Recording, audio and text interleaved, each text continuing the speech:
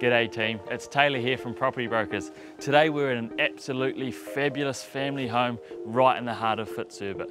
Four great sized bedrooms, two living areas and one of the best outdoor living settings I've ever seen.